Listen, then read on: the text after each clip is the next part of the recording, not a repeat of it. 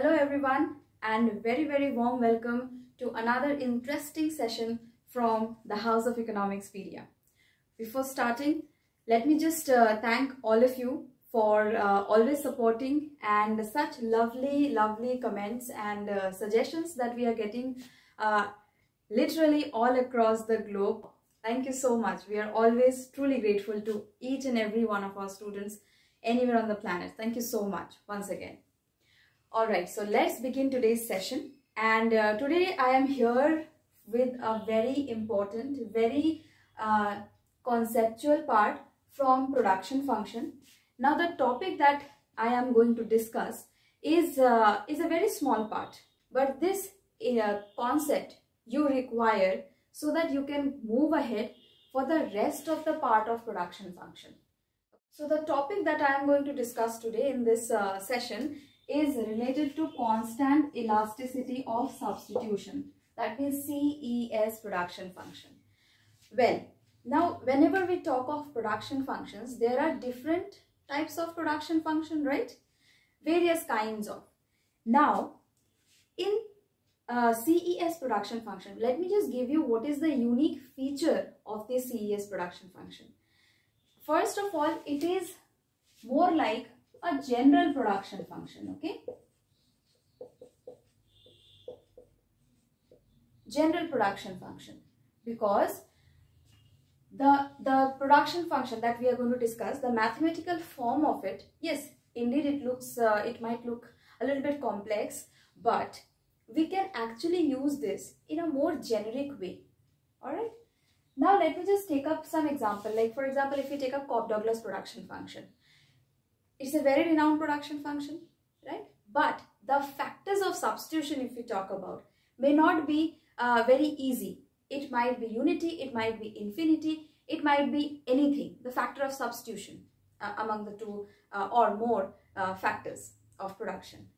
However, CES is more of a generic production function. Alright. Now, the CES production function, it has been given up by four different uh, economists. To start with, we have Arrow, Chenery, Minhas and Solow. So these four people actually give rise to this CES production function.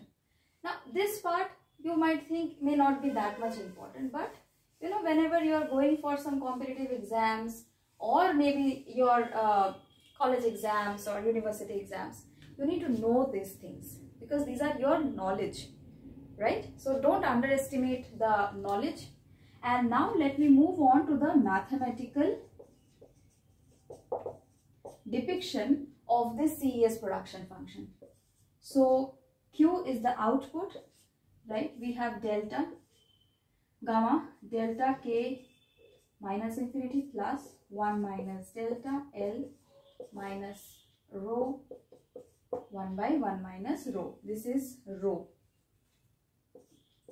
Let me mark this equation as 1. So now this is output, right? We all know. Let me just give you a notation for all these uh, parameters in the production function. So we have three parameters. We have gamma, we have delta and we have rho. So gamma, right? It represents what? It represents the efficiency parameter. Alright? Efficiency of the production function. Now, I would like you to give it a try. What are delta and what is rho? Pause the video, give it a shot and then play it again and check whether you are correct or not. This is just a, a you know a trick to revise yourself. Alright, so delta represents distribution parameter and rho this represents substitution parameter.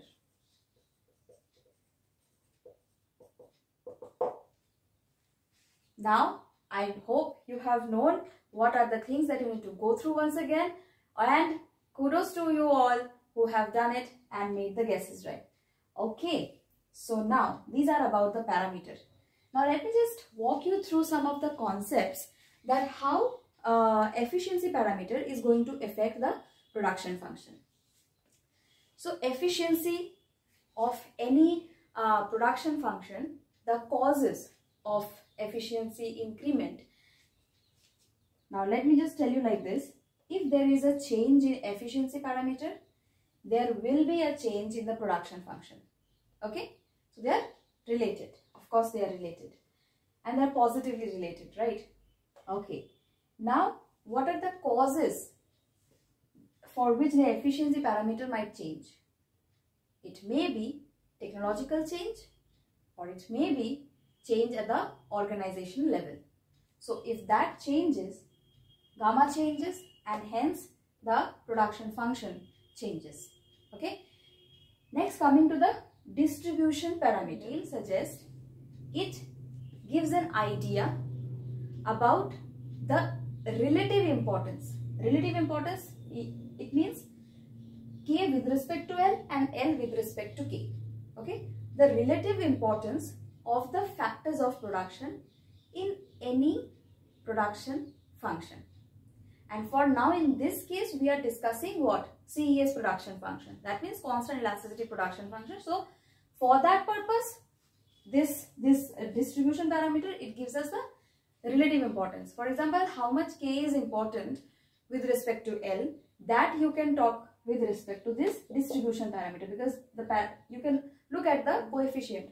Don't just uh, you know go through the theories understand the underlying concepts because that will help you to retain the concepts for long for lifelong actually.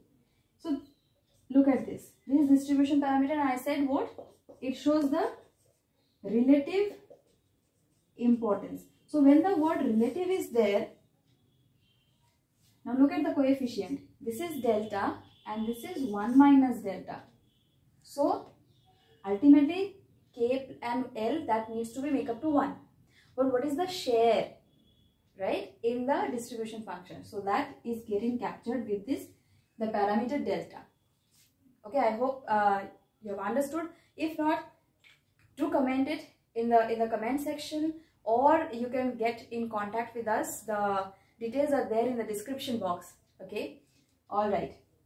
Now coming to the substitution parameter. Now substitution parameter is very very interesting and important especially in the case of CES production function. So let me just rub this up and come back.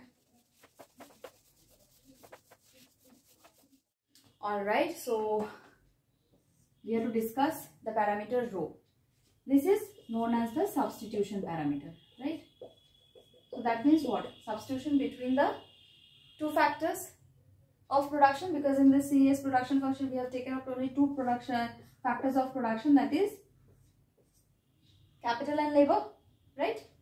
Okay now related to this substitution parameter a very very important parameter that comes in to play with which is known as the elasticity of substitution right? The sigma. So this is known as the elasticity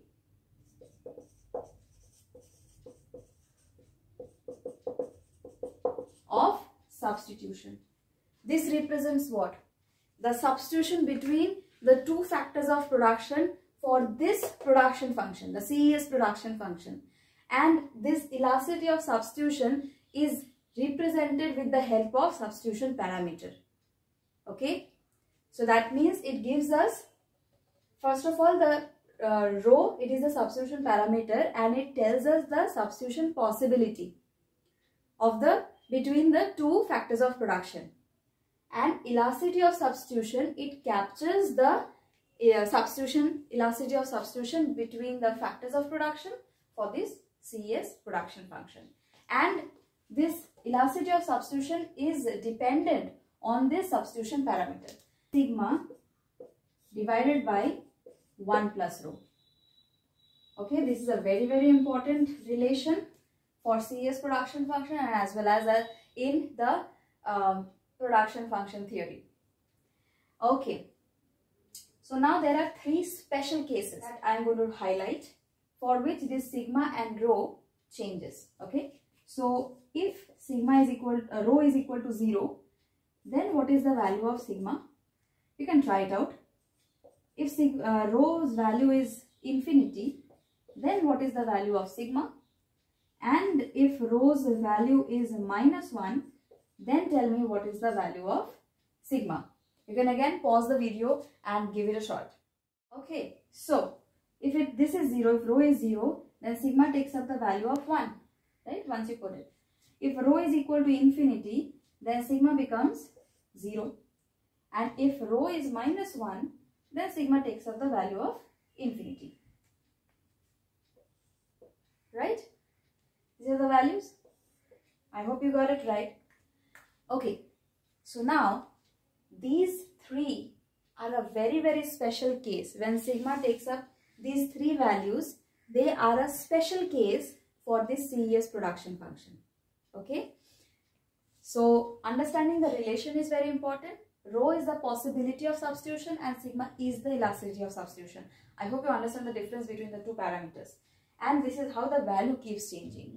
Now, let me also walk you through one of the very important characteristics of this CES production function that it is of homogeneous uh, production function of degree 1. Okay, this is constant returns to scale again. So, this CES production function is CRS. That is our characteristic CES production function is CRS, constant returns to scale. Now, I would love to give you one of the tasks. Just give it a try. However if you find it difficult you know what to do. Uh, just contact us. The numbers uh, kept showing on the screen. If you get hold of that very good. If not the numbers are given in the description box. So just go ahead and contact us. And you can also share your answer script with us. Let me tell you that. You can also share your answer script your try the one that you tried uh, you can also share it with us because uh, i'm going to evaluate that. If I find any kind of mistakes or any kind of you know area of development then we will be discussing it through. All right. So the production function how it looked it was a function of ln k right? Because it looked like gamma delta k 1 minus delta l. It was like this so to understand and to know what is the returns to scale we have to increase both L and K with a positive number M. So just give it a try and see whether you are getting this equal to this or not. Okay, you need to get this result. This result shows that is this CRS constant returns to scale.